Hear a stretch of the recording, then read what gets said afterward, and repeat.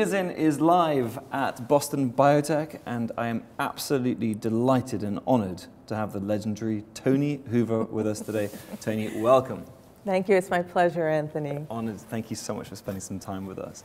Um, Today in this interview, um, I'd love to go through some of your experience at the Bill and Melinda Gates Foundation, your time, uh, you know, at Pfizer, innovation, leadership, gender, a lot of things to discuss. But maybe first of all, we can just start with the Bill and Melinda Gates Foundation. Um, it says on the website that Sue Desmond Hellmann, the CEO, mm-hmm. as you know, I don't need to tell you that, um, of the foundation, recently wrote a letter that says, "There's one question that unites those of us who work at the Gates mm. Foundation, and that is what if? Mm. What, did, what does she mean by that? Yeah, so at the Bill and Melinda Gates Foundation, we firmly believe that all lives have equal value. So, what if we actually acted like that in, in the world? What if what determined your who you are didn't depend upon where you were born? Mm. Um, what if we could bring forward uh, and apply all of what we've learned uh, about health, uh, preventing diseases, um, living healthy lives uh, in uh, the best of what we know from high income in high income countries and be able to apply all of that technology that out those outcomes to those who are living in the poorest of the poor conditions around yeah. the world.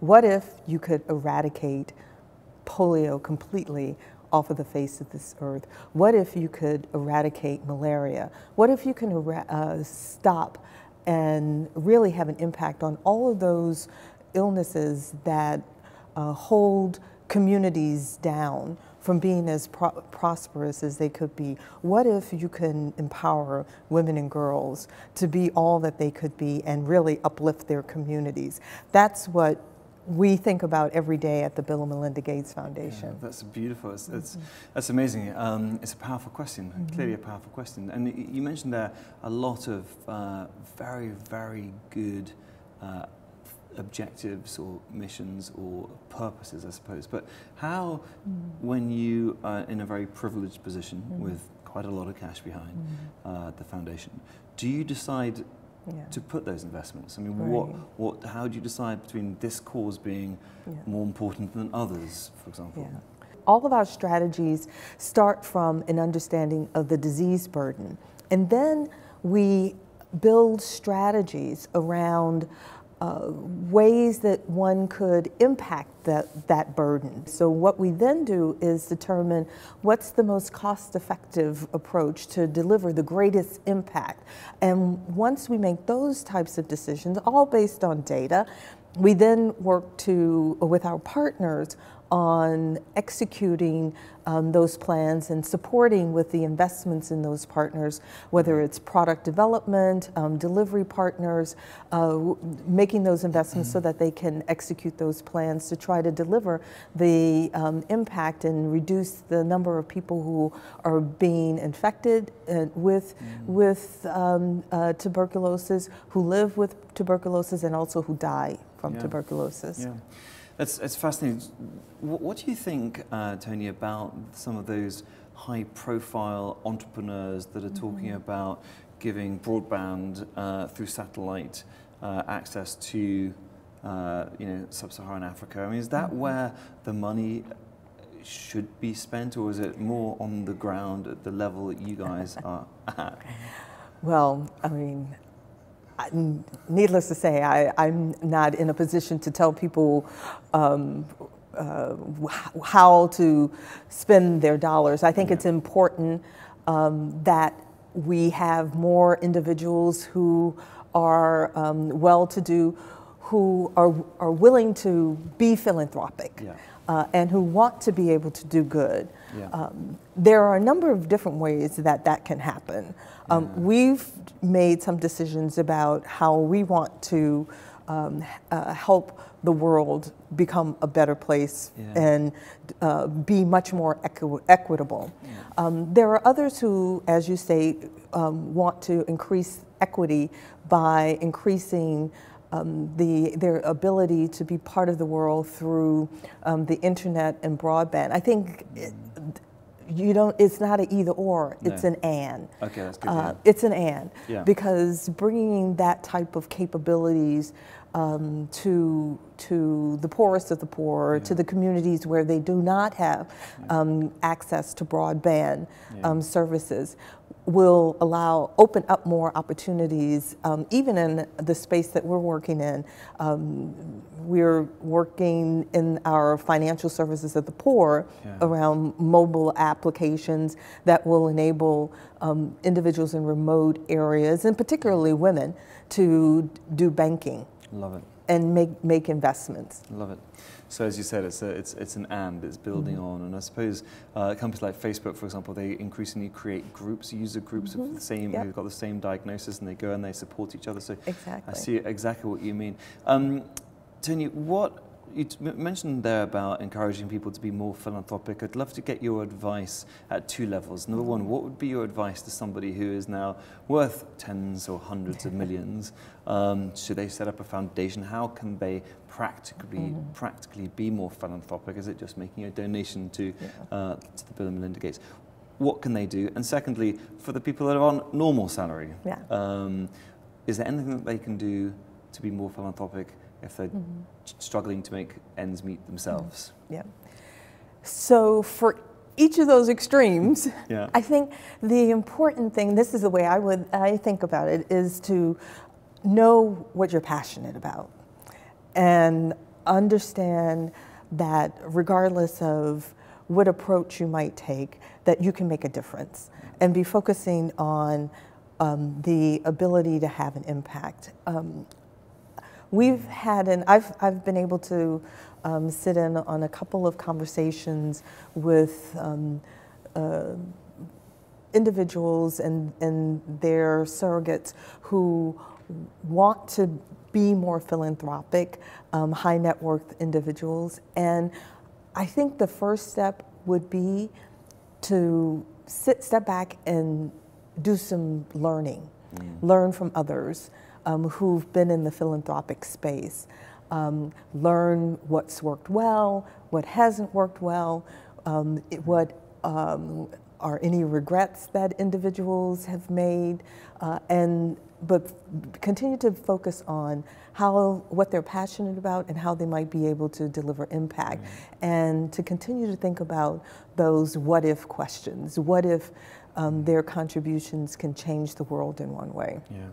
Now, for normal folks like me, um, I, I think it's so easy to be able to give back to society. Um, I started very young um, with March of Dime drives um, in school. Child, grade school children can have an impact. Um, you can then move on to making um, contributions of your time um, in volunteering. You see so many more younger people um, who are focused on um, social impact and volunteering, and I'm uh, so enamored by the work that is being done um, by the Global Citizens Organization, where you can do well by doing good deeds. Uh, and so, wherever you are in society, whatever your station is, you can do well and do good deeds um, with whatever you can contribute, whether that is your time, your knowledge, um, or your uh, discretionary resources. Great, that's brilliant. So it's not just about checkbook philanthropy; it's giving time Exactly. as well. And going Exactly. To, that's a phenomenal point. You mentioned just before, Toni, that um, you know whether you're a super wealthy, high net worth individual or just somebody on a normal salary, focus on the passion. Um, what are you passionate about? Yeah. What are the causes that you're passionate about? Well, um, I grew up in, in New Orleans, and my father was a United Methodist minister, and he was in the school system. He was a teacher that rose up into administration of a high school in New Orleans. So I've always, um, and my mother was um, also in the school system, working with young children in pre K as well as elementary school. Um, so I've always been in um, a home where uh, we thought about others and doing well for others. So that has driven me um, through, throughout my life and wanting to be able to give back. And uh, I was able to do that for 25 years, being part of um, the pharmaceutical research and development um, industry um, in researching, developing new potential new treatments for Alzheimer's disease, um, a devastating illness. I was part of the team that um, brought the first um, treatment for the signs and symptoms of Alzheimer's disease to market globally. Um, and then having the opportunity to lead um, the product development of um, another agent for some um, devastating illnesses for neuropathic pain, uh, uh, for seizure disorders, mm-hmm. um, Lyrica, which is um, on the market right now and, uh, and helping millions of people. So mm-hmm. I've always had this desire to be able to give back where um, I could work in a team that was working for a common mission and common purpose of helping people live healthier lives. So it's a privilege uh, to be part of the Bill and Melinda Gates Foundation, where we are working to um, eradicate polio. My father had polio as a child, and when I was um, um, thinking about joining the Gates Foundation, I thought about him and what my aunts used to tell me about how difficult it was for him as a child when he had to stay inside, when he was ill, um, how it affected his childhood. And to think that um, back in 2011, um, India became polio um, free, and that we only have a couple of uh, places, tough places, in the world where polio still exists. Um, I'm confident that within um, a, a, very short while, we'll be able to declare that, that yet another devastating illness, uh, virus, has been eradicated off the face of this earth. Yeah. So being able to bring um, what I was able to, to um, learn, um, over the 25 years of working in a great company like Pfizer, being able to take that those learnings and being able to apply it um, for the sake of um, the global health issues that we're tackling um, is, is uh, something that uh, is extremely gratifying and continues to drive me each and every day. No, it's beautiful. It's so wonderful. If you want to give back, you can't get mm. much better than being in, exactly. in that foundation. Um, by the way, do you hang out? Do you, do you see Bill and Melinda a lot? And do you are they hanging out the office once in a while? I wouldn't say I hang out with Bill and Melinda, um, but they are very accessible, and I'm often in meetings with them. Um, we have. Um, uh, they are very much hands-on as we are making very, very important strategic decisions. Yeah. They are very concerned about um, how the foundation is run, how um, uh, the, the colleagues within the foundation, um, what the culture is in, in our foundation. Um, and they are um, a, a learning couple. And they embed that throughout our organization that we want to learn and continue to learn so that we know um, and continue to grow in different directions. We are a very data oriented organization, um, and they continue to test us and remind us uh, and help us uh, discern how we make decisions based on data. So they're they're quite visible, but I I would not say hmm. that I hang out with Bill and Melinda. That's fantastic. I met somebody once who said he'd been to Harvard University, but he'd only been to have a look around. um, Toni, what would you um, say I mean, before we uh, this before this program, we were talking about some of the things you're passionate about as well, being um, mm. making sure that women have the equal an equal place mm. in mm-hmm. all um, uh, areas of society, and it drives me nuts that there may that this is even still an issue. Yeah, yeah. Uh, it really does. And yeah. I've got a, a, daughter and a son, and I just you know want this issue to go away. Yeah. Um, but but what's your thoughts on on yeah. that? How is it being improved? What advice would you give to a young yeah. individual? So I, I uh, participated in a panel discussion last evening um, a panel on women in leadership in the life sciences, and where we focus particularly on some of the obstacles still facing women in life sciences. Um, so I just want to spend a, a moment talking about that.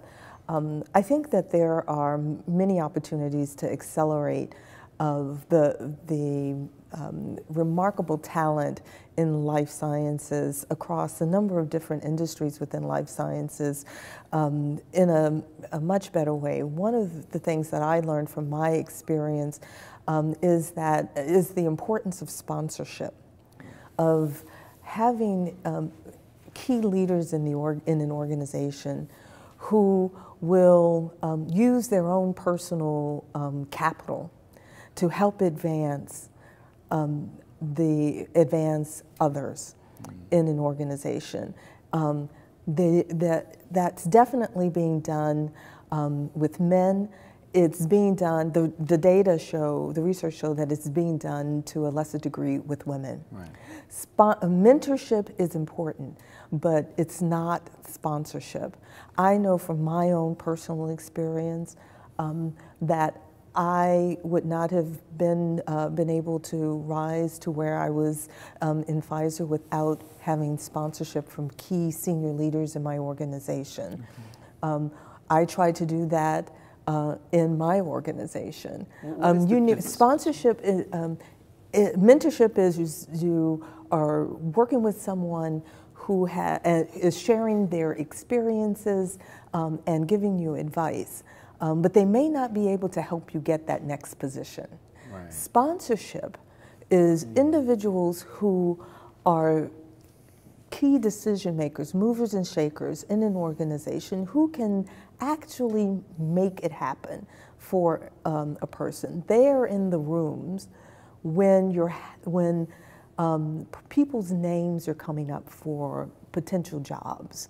Um, they're in the rooms when senior leaders are talking about secession plans, and they can bring forward the name of someone that they know and they feel confident about, and they are willing to put their necks out on the line mm. to help get that person in that position. Yeah. So that's what the difference between mentorship and sponsorship.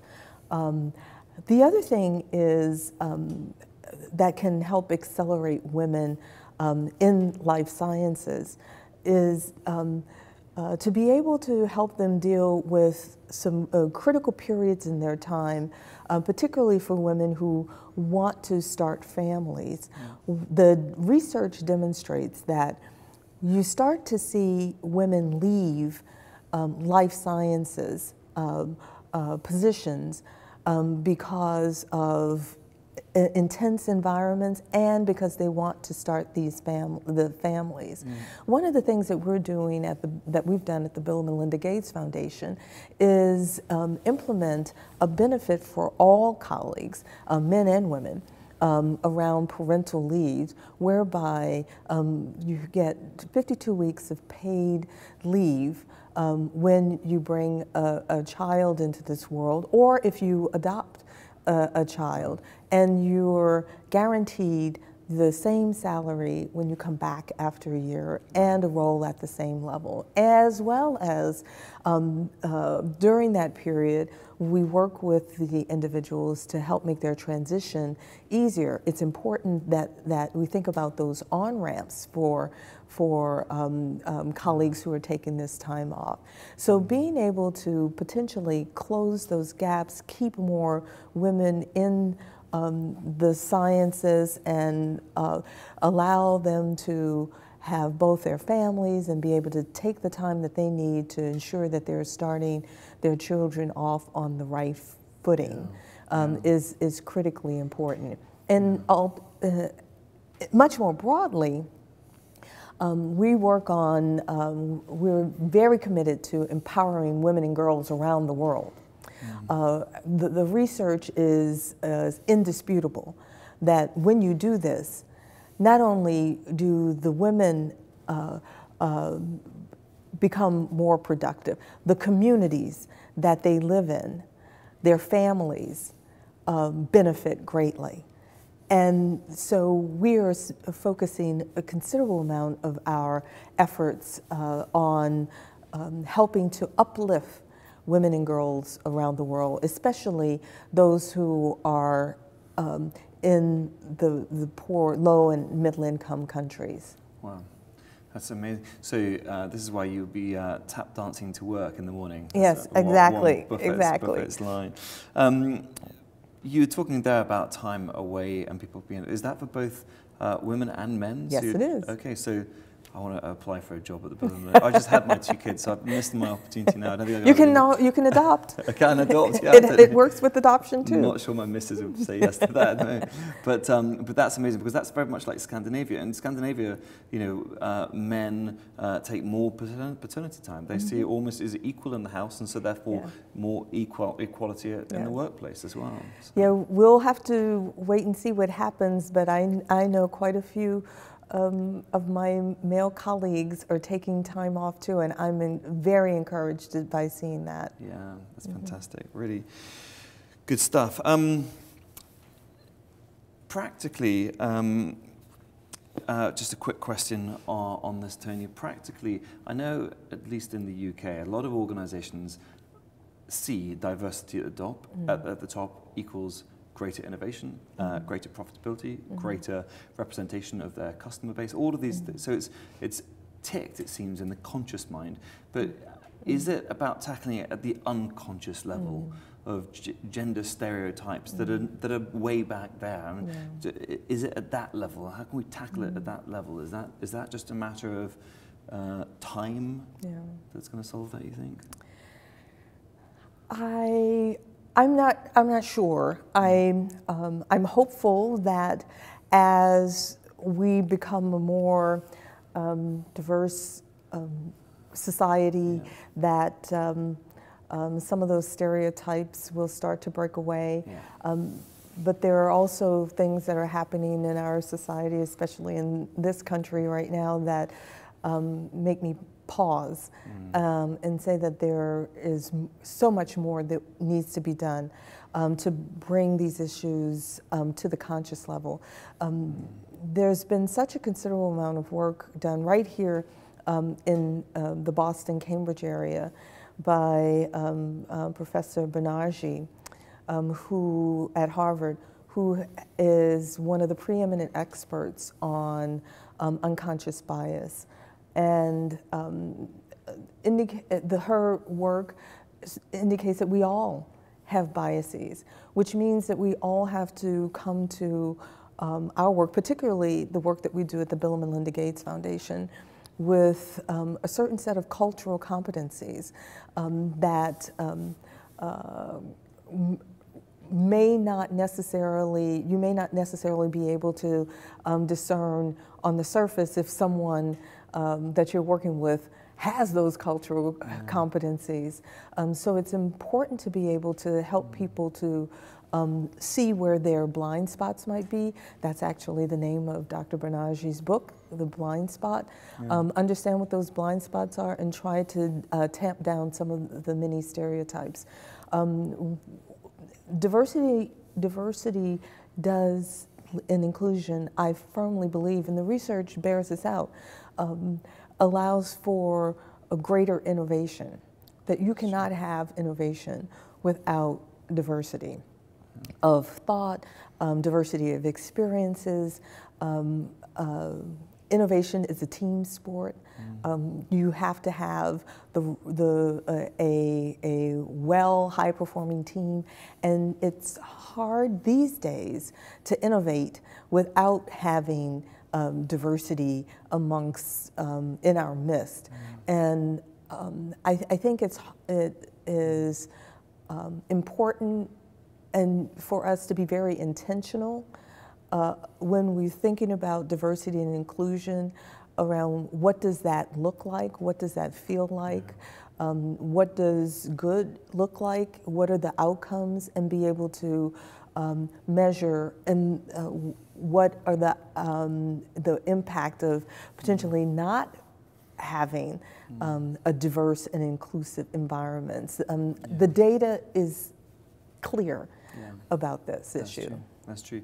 And so maybe where individuals have got unconscious bias, that's where organizations can come in and help through allowing, putting some structures in place to make sure that they overcome that. Exactly. Um, let's talk about um, leadership if, mm -hmm. if we mm-hmm. can.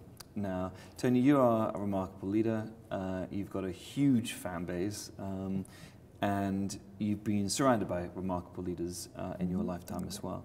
So, in your essence, what do you think makes for great leadership? You have to serve others. You have to be there um, to help others be the best that they can be.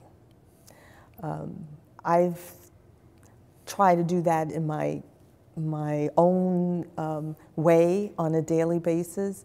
That if you can create that environment that allows people to be who they um, are in a very authentic way and to bring all of their gifts and talents to work every day, not leaving a part of themselves in the parking garage or at home. Um, because the work we do is so important, but who, bringing all of who they are, all of their gifts and talents.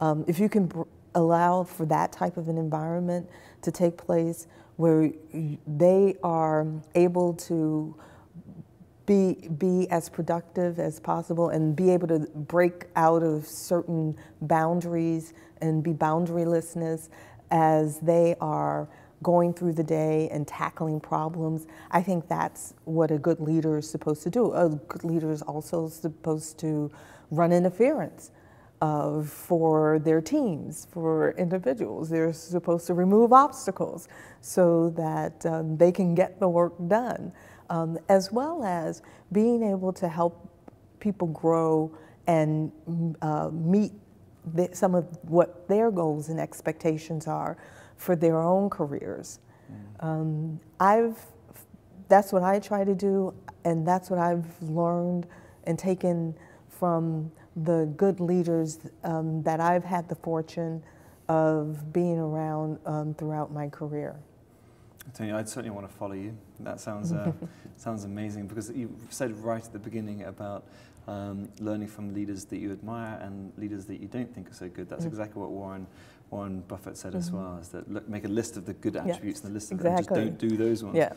Toni, I know you've got to go and get, catch a flight, and um, I don't want you to miss it because I really do appreciate your, your time here. It's not very good. Um, so I've just got one other question for you, and it came in from somebody who, who'd studied you back in our office, and they said, "My goodness, Toni's on boards. She's doing this. She's saving the world. She's you know doing all these things." Um, how, from a sort of a personal time management mm -hmm. perspective, how do you do? You have any tips for us as to how yeah. to get more stuff done and the right stuff? Yeah, I'm still trying to get tips from other people, so maybe you can help me on that note. Well, one of the things I do is um, identify my priorities, um, how I want to spend my discretionary time.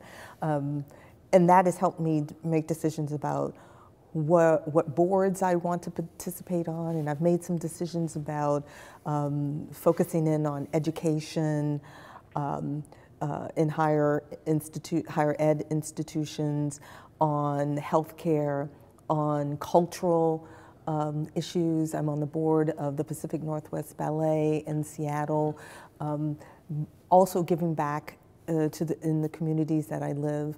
Um, but I also think about um, being in harmony. And I sp spoke a little bit about this at the Women's Leadership panel last night.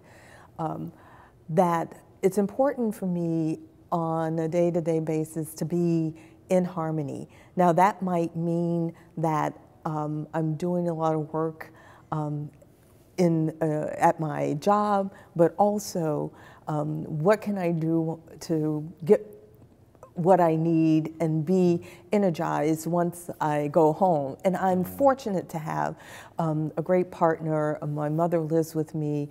We, I have three um, standard poodles who um, love me, and when I come home, I get the best welcome um, that anyone can get. They do their little poodle dance. Um, but the, the concept of harmony right. and staying in harmony um, is something that has been with me for um, quite a bit of time now. And I try to, to manage that on a day to day basis. And um, I can tell you, my um, business partner um, will be able to detect when I'm out of harmony. Um, usually, when I have too many meetings back to back to back in one day. Um, but more, more than anything, it's doing things that drive the passion in me. Yeah. Um, and that's what I do every day at the Bill and Melinda Gates Foundation. Yeah. And so that helps to keep me in harmony. That's right. And that brings us all the way back to your advice for philanthropists find your why, as Simon Sinek yes. says, find your passion. Exactly. And everything else flows into, into place. Toni, on behalf of all of our viewers watching, uh, I really want to say thank you so well, much. Thank you so much, Anthony. It's a pleasure. So much, Thank you. Thank you.